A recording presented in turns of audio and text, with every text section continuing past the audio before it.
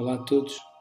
Eu não sou um cientista, sou um coreógrafo, um artista, portanto, artista rima com cientista, mas vou celebrar a ciência num dia tão especial e vou celebrar, obviamente, o Zé Mariano Gag, que deixa uma contribuição enorme para todos nós na nossa sociedade, e a ciência que hoje, em tempos de pandemia, deixa novamente uma marca uh, absolutamente indelével. E no dia em que escrevo esta mensagem, que é dia 13 de maio, e não, não vou falar de Fátima, uh, é um dia muito especial e eu gostava de evocar a memória da cientista, imunologista, escritora, inspiradora, no meu caso amiga, da Maria Ângela de Souza. Maria de Souza, como é conhecida no meio científico, faleceu há exatamente um, mês atrás, a 13 de abril, numa terça-feira, vítima de Covid-19. E vou-vos contar uma, uma bonita história, uma breve história, uh, passada cerca de 40 anos, quando eu fui para Nova York dançar, começar os meus estudos de dança e depois dançar. Eu tive o privilégio de viver em casa da Maria, um belíssimo apartamento na East 72nd, sobre o, o East River. Minha mãe falecera no verão, em julho, e a Maria deu uma chave de casa e foi para Nova York três meses e acabei por ficar dez anos. Portanto, a Maria mudou mesmo a minha vida. Um, nessa altura, ela vivia com a June Goodfield, que escrevia uh, um, An Imagined World, exatamente, um livro que iria ser lido por muitos cientistas, por muitos de vocês. E a Maria dirigia um, um, o seu serviço do Sloan Institute for Cancer Research na Quinta Avenida, coisa que me impressionava sempre muito.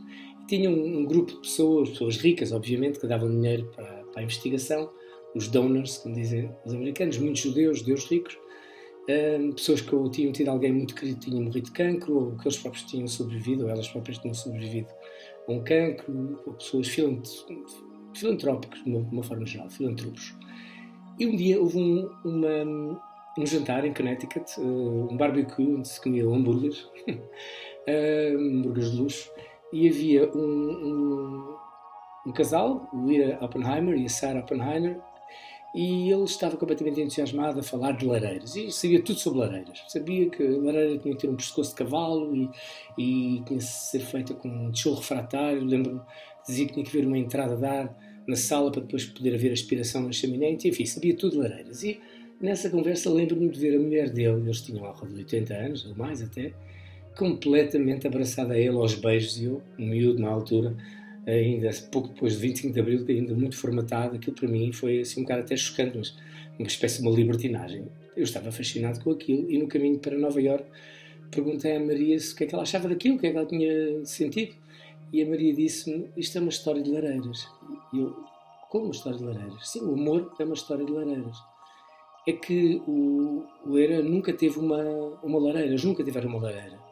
E estão casados há mais de 50 anos e de repente aquele homem tira um coelho da cartola e sabe tudo sobre lareiras e está a falar com um grupo e de repente a, mulher com quem ele viveu durante quase toda a vida está fascinada, está completamente atraída por ele e que ele tem um aspecto, tem um efeito quase afrodisíaco e portanto viveu-se ali quase uma situação um pouco pueril, absolutamente fantástica, maravilhosa.